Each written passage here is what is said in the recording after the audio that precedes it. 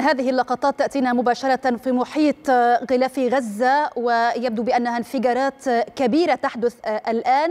حتى هذه اللحظة لم يتبين هل كانت نتيجة قصف إسرائيلي أم قذوفات صاروخية خرجت من قطاع غزة باتجاه هذه المنطقة الحدودية فيما تسمى غلاف غزة.